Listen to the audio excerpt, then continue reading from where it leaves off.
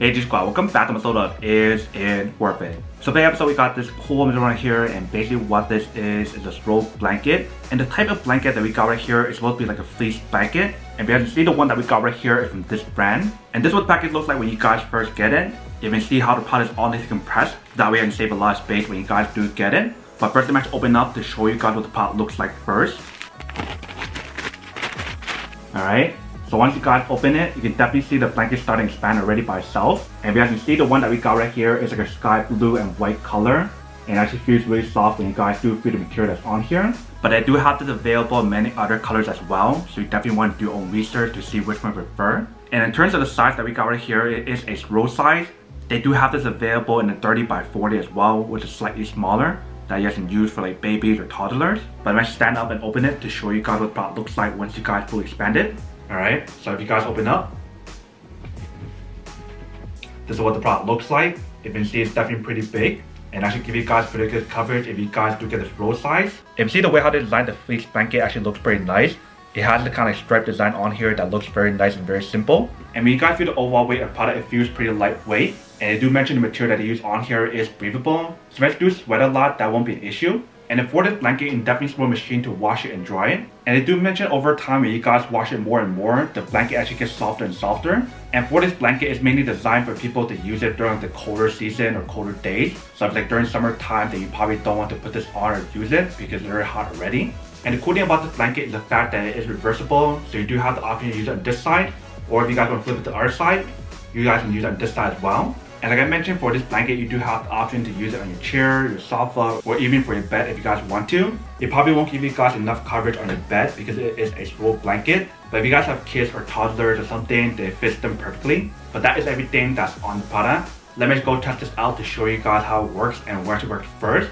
And we'll come back and talk more about it in a second. Alright, so right here we did the blanket. Let me show you guys what the product looks like when you guys do fully expand it.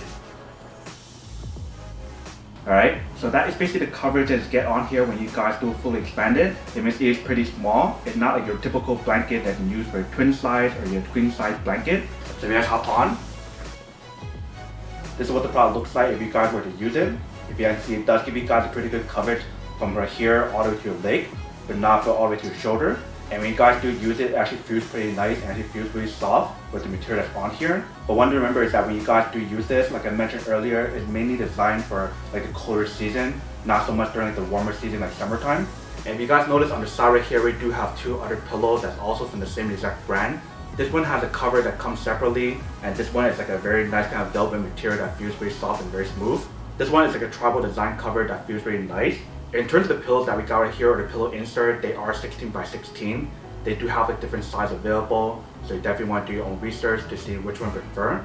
And obviously, if you guys are trying to look for a high quality sofa, I do recommend this one here. But this is what the product looks like when you guys do use it.